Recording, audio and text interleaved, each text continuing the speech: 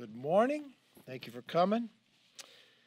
Let me start and begin with two weeks ago, I sent a letter to President Biden requesting a meeting to discuss the border crisis. As of today, I still have not received a response from him or anyone in his administration. But in that short time period of two weeks, the situation at the border has only worsened.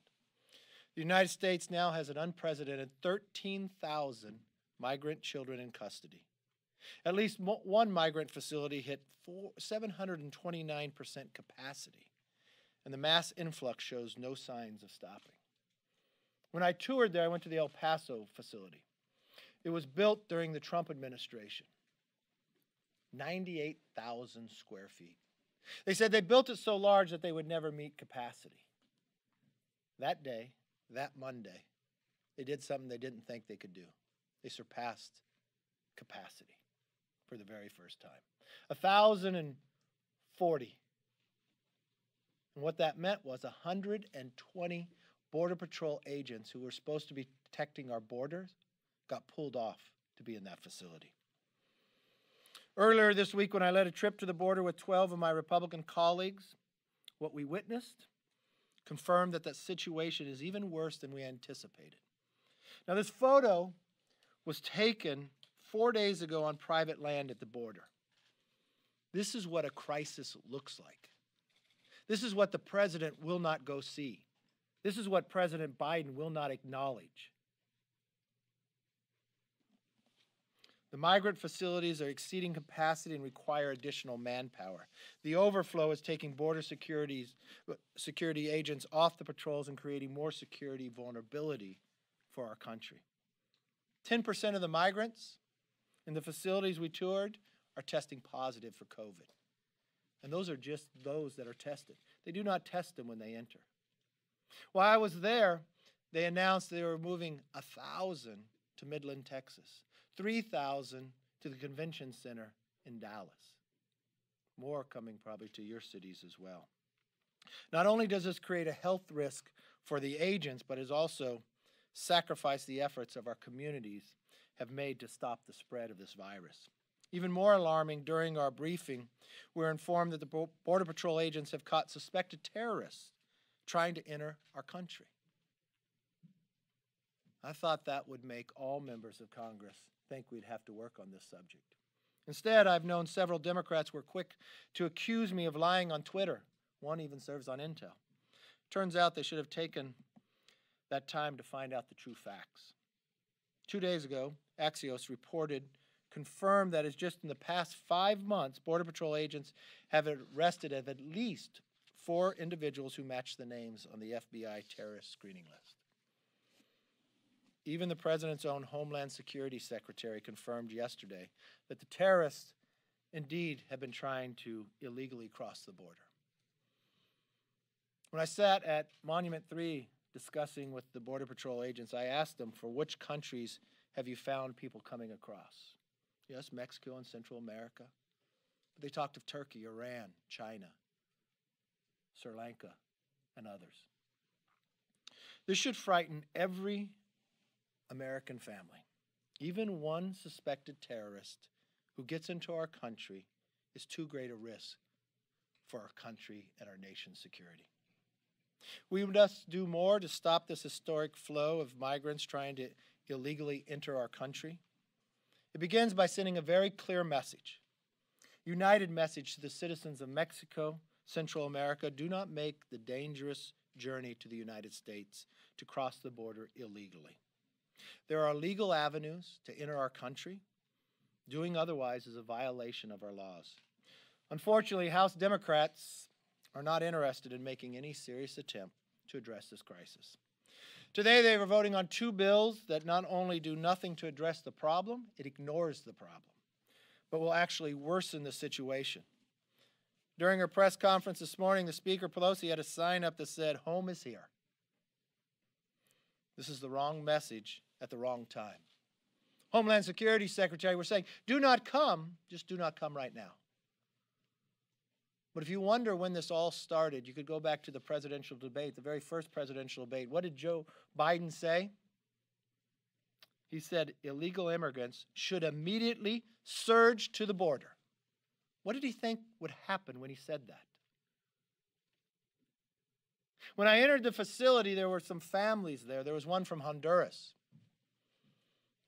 Carlos Gimenez spoke to them, asked them how long the trek was 22 days. Just read a quote from another family from Honduras said why they made the trek because they heard President Biden say they were welcome. They heard President Biden in a presidential campaign debate tell them illegal immigrants should immediately surge to the border. This president denies the right to even meet about it, travel to it, or acknowledge the crisis he created. Our border agents are overwhelmed and they deserve the help of their federal government. I'm calling on to put politics aside. Let's work together for the security of our nation. That's why I sent the letter before I went to the border.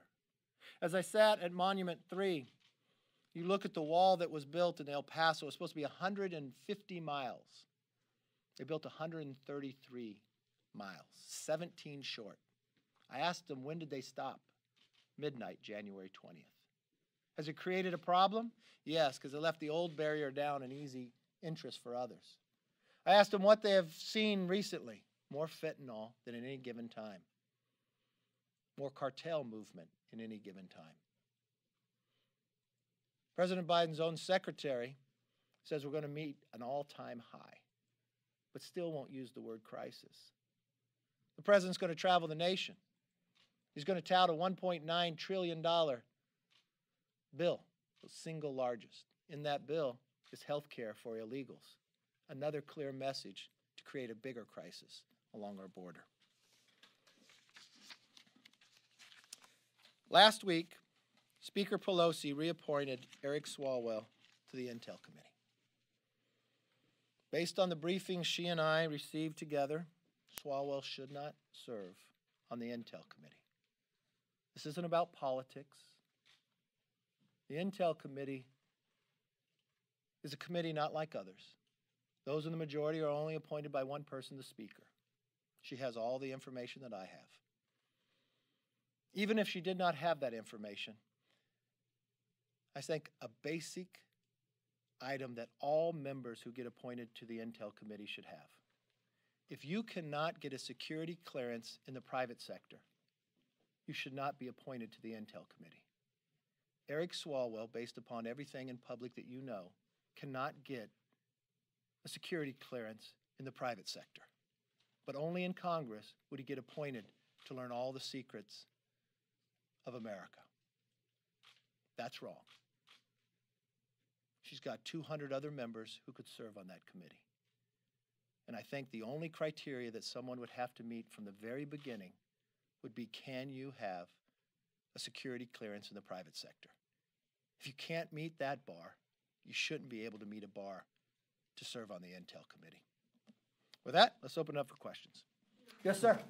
Sir, I'm wondering, what is the status, as far as you know, of that Iowa congressional seat? I think Dr. Miller Meeks, where does that stand? Mariannette Miller Meeks, Dr. Meeks.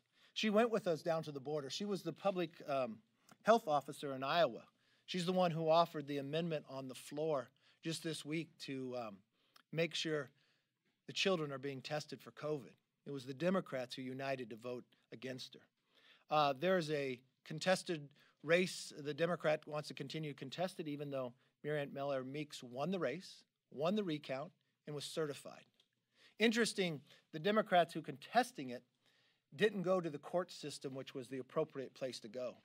She said, I'm taking it directly to the House because that's where she thinks she could get the outcome that she desires. Uh, Speaker Pelosi talks about it. I know as of today, their majority is not of five, it's only of four. I've watched uh, this majority do things that no Congress in the past have done. Um, I would not put it past them to try to steal a race. They did it before in 1985 at the Bloody Eighth of Indiana, but they should not be able to do it now. They should uphold exactly what the recount said. Yes, ma'am. Leader McCarthy, would you define January 6th as an insurrection? Yes. And also Yes. following up on that, on the 9/11 style commission? Yes. Where does this stand? Have you spoken with Speaker Pelosi? Is there any path forward? Um, I think the path forward very easily. I mean, um, if you go back to the 9/11 Commission and those who ran it, Governor Kean and um, Hamilton, they laid out a very f- um, the framework that would work. Un- unfortunately, the only person who's opposing that is Speaker Pelosi. I read today in some place that she maybe was in Punchbowl. Does that give you a plug? Does that help you? I guess so. All right. Um, is that where I read it? I, you haven't said the sentence yet, so I can't tell you.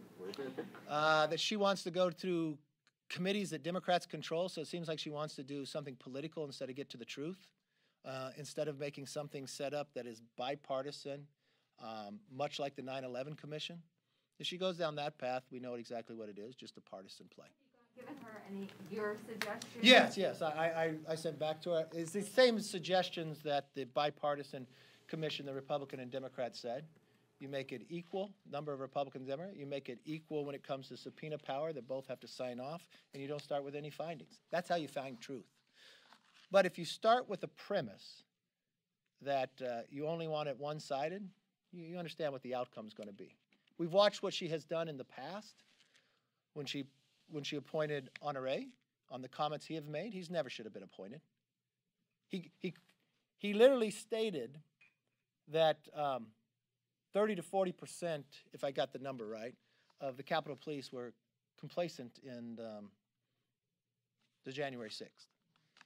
He said something to me or, or, or, or qualified honest about Jim Crow laws. When I, when I asked him about those, you know what his answer to me was? When I said, Why'd you say these? He goes, I didn't know I was going to get the job. He never should have been, he never should have been put in that position. But the speaker picked him, knowing what that, knowing what he had said, not years ago, but just recently. So it seems as though she wants to put politics to this instead of get to the real answer. Yes. Yeah, regarding the, co- the Capitol Police, uh, should acting, uh, Chief, uh, Pittman remain in her role as, as the leader of that department? Or should, should there be a change in leadership? Well, she's acting. I think we should go and search for who's best, but the number one thing we should do is change the structure of that. But, you know, I understand, like, you know, you know, a bipartisan contingent of lawmakers have agreed that it's antiquated, the Capitol Police Board, you know, needs to be changed. I understand that. Should, do you think that she should continue serving as the leader of the department?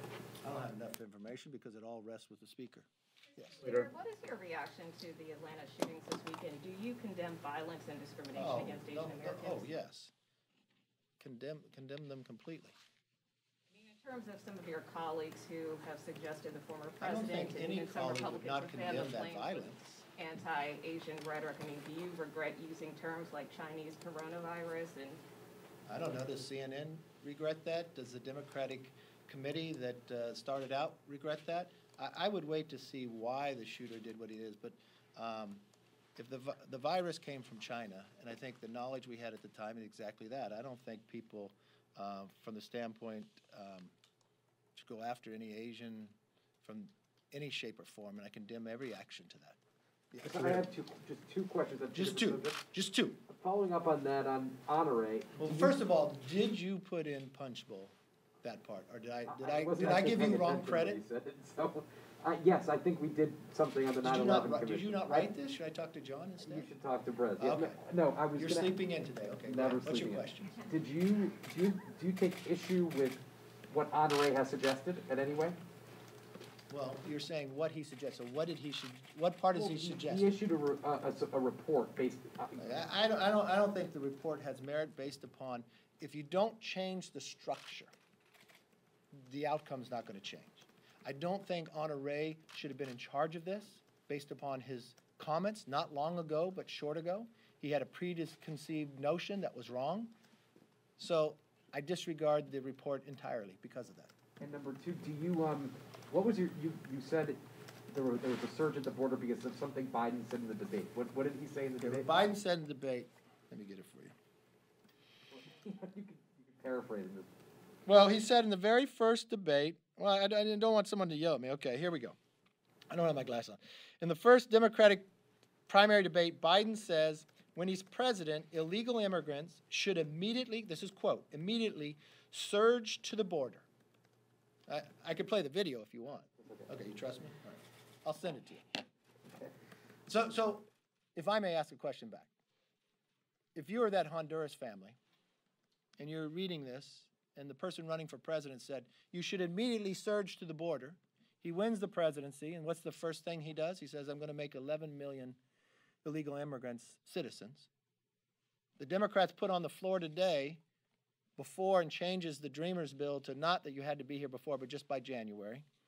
Um, that he removes remaining in Mexico policy, he removes the PACR policy, he stops the building of the wall, he questions whether to keep Title 42.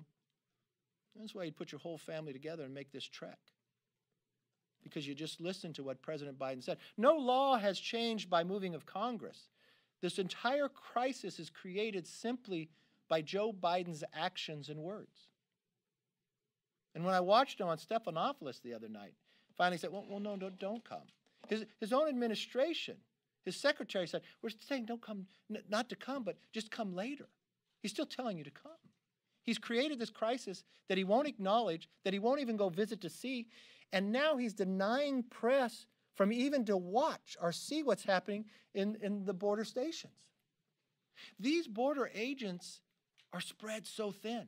That 1.9 trillion had no money to help them. While I was going through this brand new processing facility that's 98,000 square feet, that had just hit capacity that they never thought would happen, they're taking their parking lot and now they're putting up tents. And they're taking their operational money to do it. And they're removing agents from the border that they're trying to protect, where the wall was stopped being built from people coming over to, to care for these individuals. And the president denies the right to even go there and denies the right of press to even cover it. And he said in his own words while he was running for president in a presidential campaign illegal immigrants should surge the border. That's exactly what's happening, and that's why.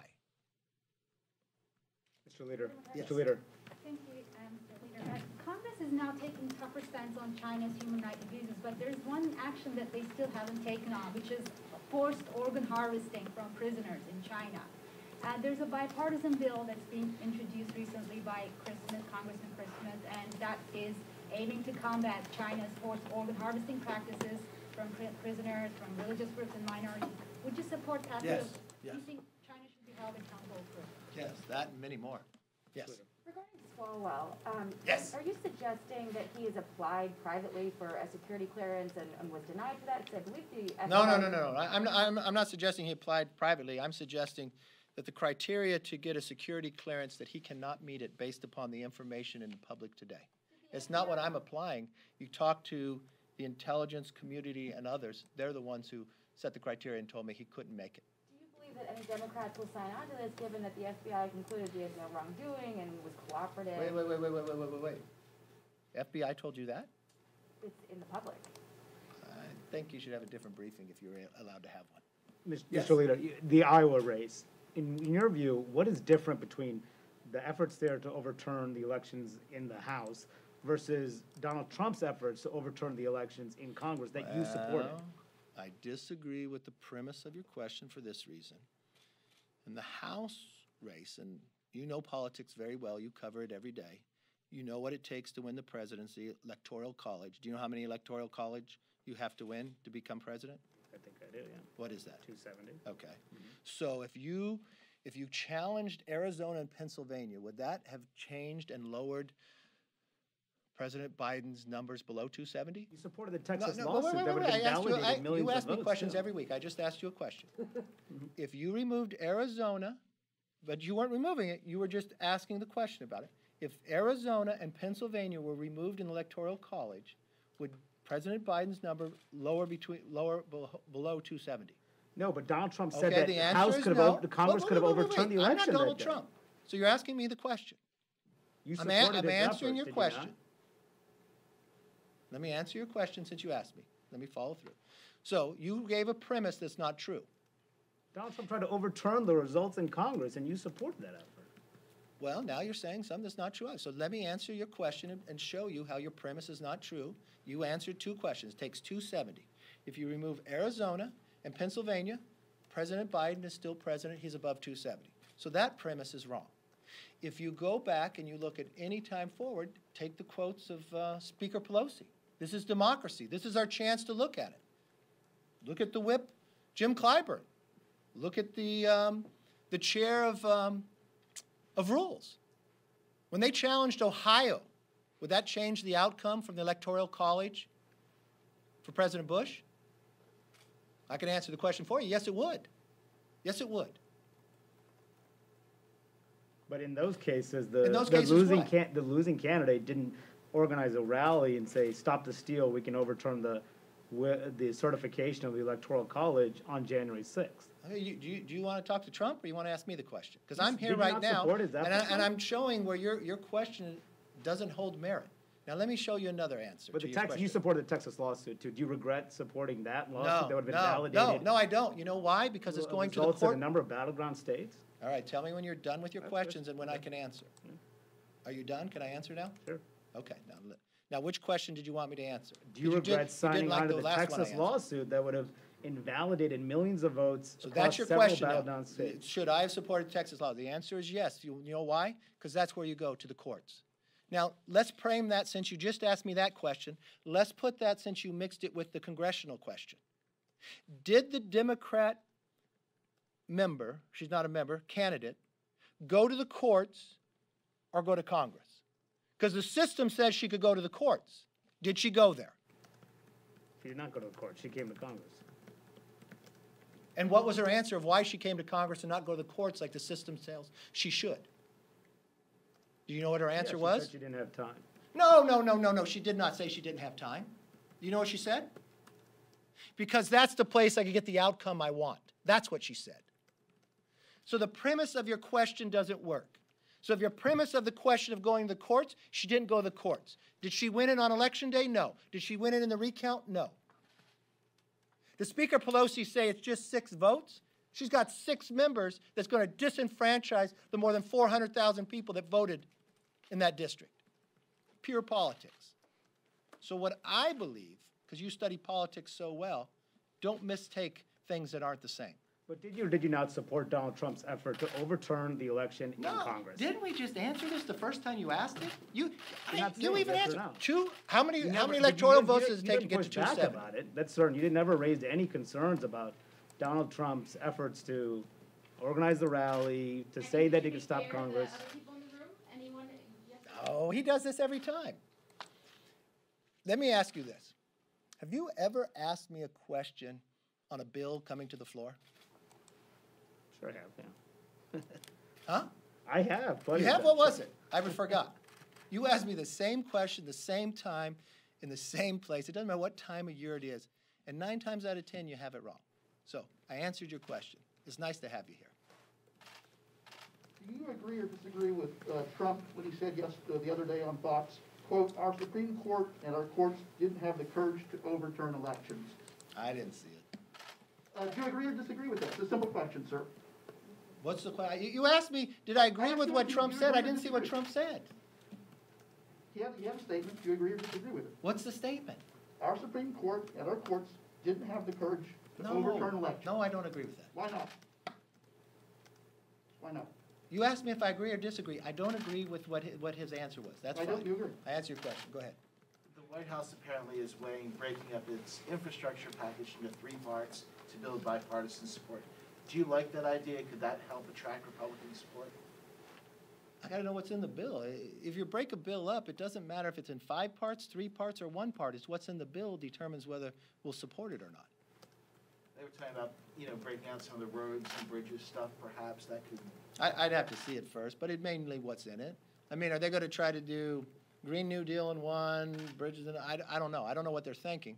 And I don't even know, well, if I listen to Bernie Sanders, who's the chair over in the Budget Committee in the Senate, he says he wants to do reconciliation again, which means they don't want it to be a bipartisan. Um, I listened to President Biden say in, at the inaugural, he wanted to find bipartisan, and I haven't seen any of that. He can't even have a meeting on a crisis of a border he created. Yes. I want to go back to what you mentioned about Swalwell. Um, you've been pointing to what's in the public, and then when I mentioned about the FBI's conclusions being in the public, you suggested that there might be some other report that I should see. Are you saying there's You, something you we don't can't see know about? it, you, you can't see it, it's classified, I can't talk about what I learned in classified briefing, but I do know the speaker heard the same thing I heard. And do you expect any Democrats to sign on to this? I, I would, I would expect the people to hold the same criteria. The, the- unfortunately, the FBI won't give other people briefings. Um, But what you know in the public domain right now, this individual couldn't get security clearance for a private sector job. Why would you put him on there? And he's not, he's not voted on based upon their conference, just one person. So all the time before, Democrats could hide behind Nancy Pelosi. It's not about politics. It, it, this is surely about, members know what Intel Committee gets to review and know. He doesn't rise to that occasion. And unfortunately, he should not serve there. And Democrats should vote with it too, yes. And it should, it's not personal about him. It's not the right place for him. Shows that he was targeted by a foreign government, not that he was cooperative with it I or aware cannot, of I it. cannot talk to you about what I was given in a classified briefing. But I believe even what you know in the public domain, if in the public domain he can't get a, he can't in the private sector get a security clearance, that should be the basis of whether anybody can even apply to be on the Intel On, Committee. on what ground could he not get one? Simply what you know in the private, simply what you know in the public domain, he could not get it today. So how does that disqualify him personally if, if he doesn't have any cooperation, someone externally targets you, the I FBI says you're cannot tell cooperative, you but you didn't what I anything was, wrong? I cannot tell you what I was briefed in a classified briefing. But what's in the public domain, he does not rise to the occasion to get a security clearance in the private sector. If you cannot get a security clearance in the private sector, you should not be able to be on Intel. As easy as that. You don't have to know what's in classified briefing, but that criteria, he cannot meet. He should not be able. I would not allow, and I would not appoint, a Republican to the Intel Committee that could not get a security clearance in the private sector. Simple, basic, where we're at. Yes, ma'am. One more, uh quick one, just with respect to the vaccine, I know you have called for a regular order to be restored, yet some members still have not gotten vaccinated or don't want to, and especially now that the former president has come out saying people should get vaccinated, you know, will you tell your members to do the same? Yeah, I've always told my members to do the same. Um, I, I've, I've spoken to the doctor. Approximately seventy-five percent of the members have been vaccinated. That's probably more than the number that shows up to vote in person. Um, It's roughly thirty to forty of the members who, who have the antibodies who, who got COVID. Um, if you were a impeachment manager from the House and you went to the Senate, you didn't have to wear a mask on the floor in the Senate. The Senate, I would guess, average age is higher than the House. Um, This, this, the speaker or the medical doctor allowed people who had COVID to actually come into the chambers on the day to vote for speaker. Um, The speaker said that she was instituting proxy voting just because of an unlimited basis for COVID. The members have to sign a document, the reason why they can't be there. Um, I think we're at a different point in time when those thresholds came, and I think we're at a higher threshold by our vaccination. I think we should change the duration of the votes. I think the proxies should end. Um, I think we should go back to working in committee. I think bills should actually come through committee before they come to the floor. Um, And I asked her in a letter last week, what is her plan and when is the timeline for that? Um, But I Because think with she every came back given and day, said more members should need to get vaccinated. so what's that number then? I mean, Don't you think it should be closer to hundred percent or as close as well, possible? should, sh- didn't, is that our plan? Have we thought of this? Did- did- Why shouldn't we plan for when we could go? Um, Should, should, should we take down the wall around the Capitol? Should it be easier for a, for a citizen to visit the Capitol than for an illegal person to come across the border? I mean, th- these are simple questions that you, if you're a Speaker of the House, you should have a plan. If she can't come up with a plan, I'll provide a plan. Um, Every single day, the percentage goes higher for who's vaccinated on the floor. Why can the Senate, when they speak with not around, not wear a mask? Why can the CDC now tell us, as a family unit, we can come together without a mask, but you can't do that on the floor of the House, even though more of us are vaccinated than probably the majority of, um, the United States. And why were we told to vaccinate early then?